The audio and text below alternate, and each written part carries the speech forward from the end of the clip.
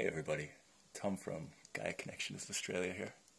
Just coming at you with a public service announcement on how to use this stuff. This is parafilm. It's what we use to seal our agar plates.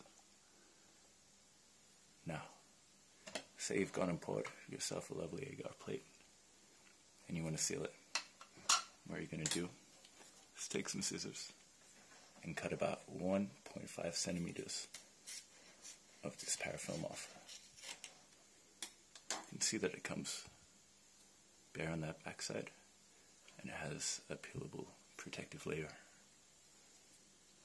What we're going to do is find where the peelable protective layer comes off, unpeel it, and take that side. I'm going to find the lip where the two meet and put the tape over both.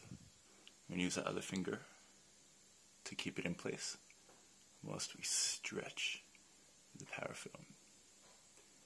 Now, this is 10 centimeter wide parafilm, and it's enough to do one of these 90 centimeter plates fairly comfortably. You don't want to stretch it too much, or you end up with micro tears in the parafilm, and that's no good. Now, once you stretch it, it starts to stick to itself. And once you make it across that line, you're good. Finish up, give it a bit of a press, and boom, you have a perfectly sealed agar plate. Thank you.